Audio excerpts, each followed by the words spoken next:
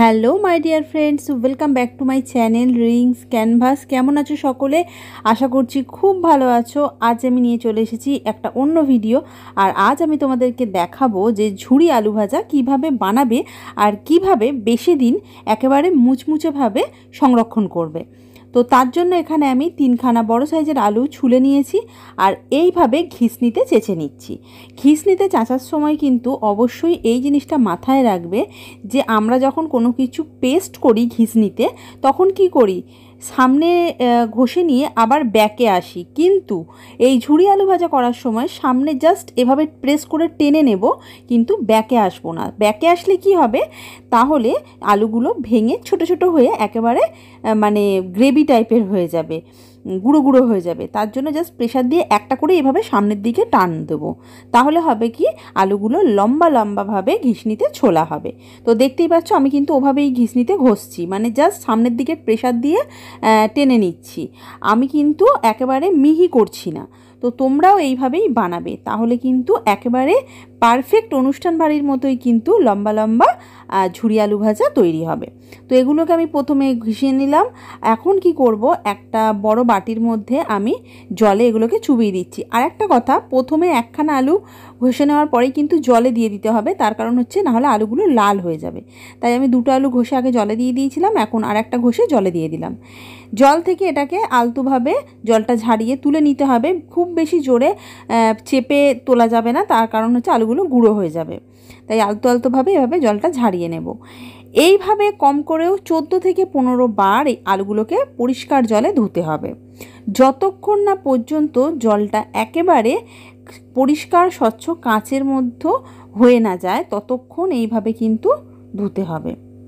পরিষ্কার, স্বচ্ছ কাঁচের মতো হয়ে যাওয়া পর্যন্ত একেবারে বারে বারে ধুতে হবে।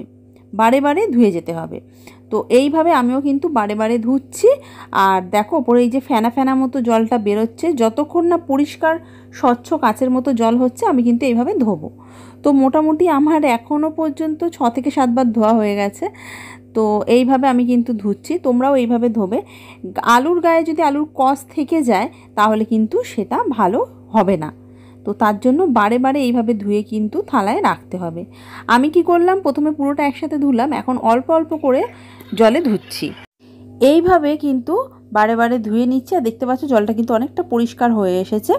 এবারে তোমাদেরকে আমি একটা কথা বলি, সেটা হচ্ছে অনেকেই বলো অনেকেরই এই সমস্যাটা হয়ে থাকে যে এই রকম ঝুড়ি আলু ভাজা বানিয়ে রেখে দিলে পরের দিনই বা দুদিন পরেই কিন্তু নেতিয়ে যায় বা একটা তেলের চিমসে গন্ধ ছাড়ে। নরম হয়ে যায়। তো সেটা তো একটা বড় সমস্যা। সেটার থেকে মুক্তি দেওয়ার জন্যই আমার এই ভিডিওটা করা। এই যে আলু ভাজাগুলো অনুষ্ঠান বাড়িতে বা বিয়ে বাড়িতে যখন করা হয়, তখন দেখবে মুচমুচে থাকে আর এর মধ্যে বেশ একটা নুন ঝাল স্বাদ পাওয়া যায়। মানে লঙ্কা গুঁড়ো, বিট নুন আর চাট মশলা।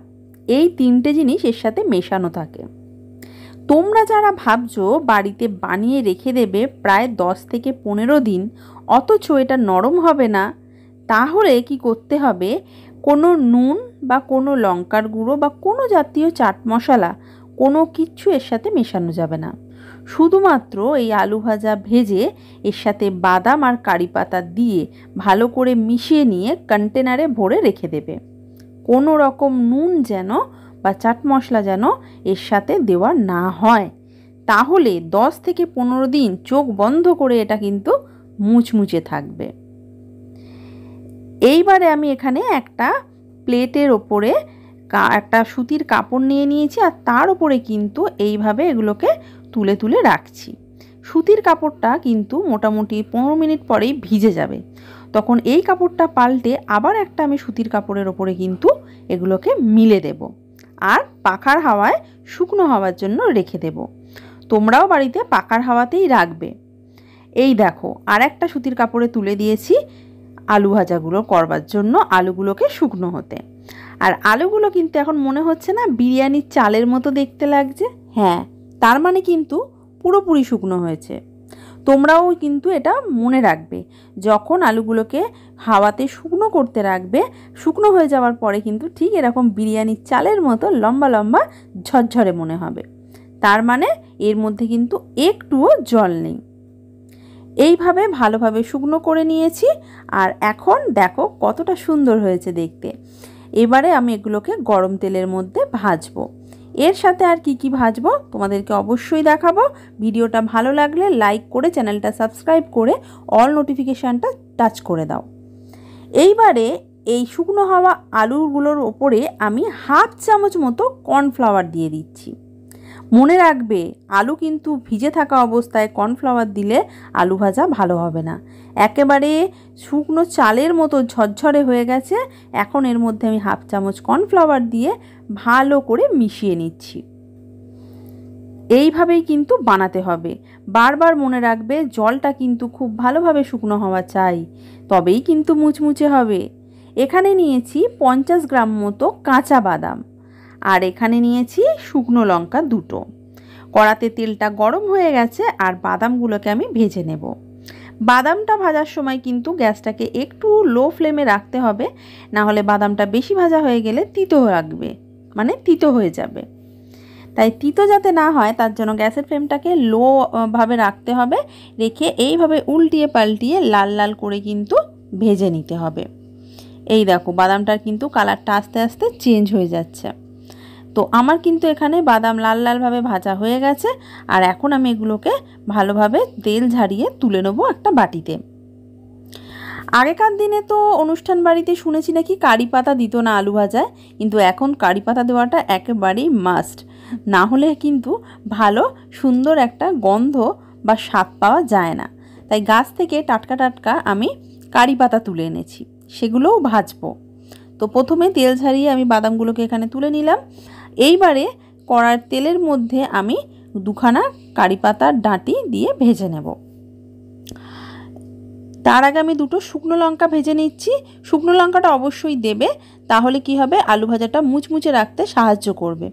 তাই হালকা ব্রাউনভাবে ভেজে নিলাম। খুব বেশি কালো কিন্তু করলাম না। এবারে আমি কারি পাতাটাকে ভেজে নিলাম। কারি পাতাটা তেলে দেওয়ার সঙ্গে সঙ্গে কিন্তু তেলটা একটু ছিটকাবে, তাই একটু সাবধানে করতে হবে। এখানে দু তিনখানা মতো আমি পাতা গোটা দিয়ে দিয়েছি, ডাটি। এবার এখান থেকে ঝাড়িয়ে আমি পরে তুলে নেব মানে পাতাগুলোকে ছিঁড়ে নেব ডাটি থেকে। এটা দেখতেই পাচ্ছ, ভাজা হয়ে এসছে। আর এখন আমি তেলটা ঝাড়িয়ে তুলে নেব।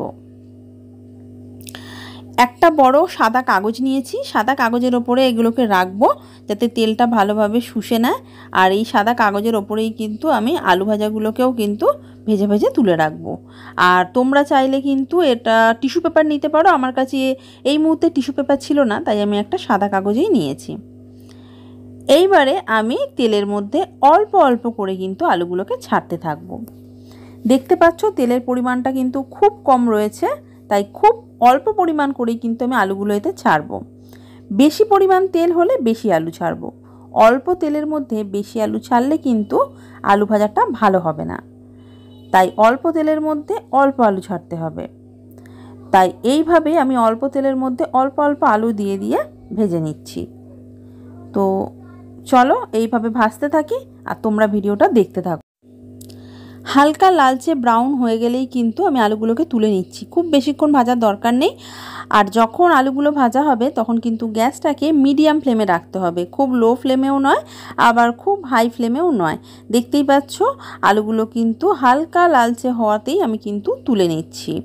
তো এইভাবে তুলে তুলে সাদা কাগজের ওপরে কিন্তু আমি রেখে দিচ্ছি যাতে তেলটা পুরোপুরি টেনে নেয়। কারণ কন্টেনারে রাখার আগে আলুর গায়ে যাতে তেল না থাকে, তার জন্য তেলগুলোকে কিন্তু টিস্যু পেপারে ভালো করে শুষিয়ে নিতে হবে। এইবারে বাকি আলুগুলোকে এইভাবে অল্প অল্প করে দিয়ে হাতে সময় ধরে ভাজতে হবে। অল্প তেলের মধ্যে তেল বুঝে অল্প আলু দিয়েই ভাজতে হবে। তো এইভাবে একে একে আমি সমস্ত আলুগুলোকে ভেজে নিচ্ছি। তারপর আমি একটা প্লাস্টিকের কন্টেনারের মধ্যে এগুলোকে তুলে রাখব।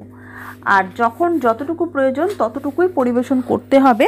আর তার সাথে তখনই কিন্তু নুন এবং চাট মশলাটা মিশিয়ে নিতে হবে। আগে থেকে মিশিয়ে রাখা যাবে না, তাহলে কিন্তু নরম হয়ে যাবে। এটা আমি বারে বারে বলছি যখন তোমরা পরিবেশন করবে, তখন কিন্তু যতটুকু পরিমাণ পরিবেশন করবে, ততটুকুর মধ্যেই নুন এবং লঙ্কার গুঁড়ো, গোলমরিচ গুঁড়ো এবং চাট মশলা মিশিয়ে নেবে। সবটার মধ্যে কিন্তু মিশিয়ে যদি কৌটোতে রেখে দাও, তাহলে কিন্তু ওই একই সমস্যা হবে, সমস্তটা কিন্তু নরম হয়ে যাবে। তো এইভাবেই কিন্তু তোমরাও বাড়িতে সুন্দরভাবে ঝুরি আলু ভাজা বানাতে পারো। আশা করছি তোমরা বুঝতে পেরেছ। আর এই দেখো, এখানে কিন্তু আমার আলুটা সমস্তটা ভাজা হয়ে গেছে।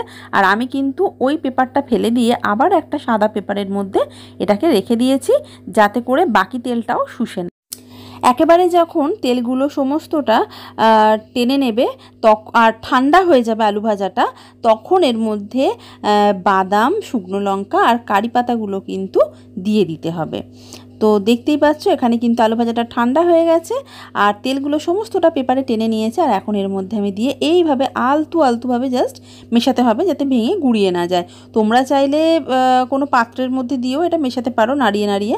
আমি কাগজের মধ্যেই মিশিয়ে নিচ্ছি আর এটা পুরো ঠান্ডা হয়ে গেছে। এবার আমি একটা প্লাস্টিক কন্টেনারের মধ্যে এটা ভরে রাখব। এটা কিন্তু প্রায় দশ থেকে পনেরো দিন মুচমুচে থাকবে। এইভাবে কন্টেনারে ভরে কিন্তু রেখে দেওয়া যাবে এটা। বেশ অনেক দিন থাকবে মানে দিন পনেরো মতো এটা ভালো থাকবে, একটু নেতিয়ে যাবে না।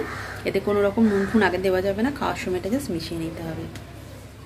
ভিডিওটা কেমন লাগল কমেন্ট করে জানিও, ভালো লাগলে লাইক শেয়ার করো চ্যানেল সাবস্ক্রাইব করে অল নোটিফিকেশানটা টাচ করে দিও। ভালো থেকো, সুস্থ থেকো, টাটা।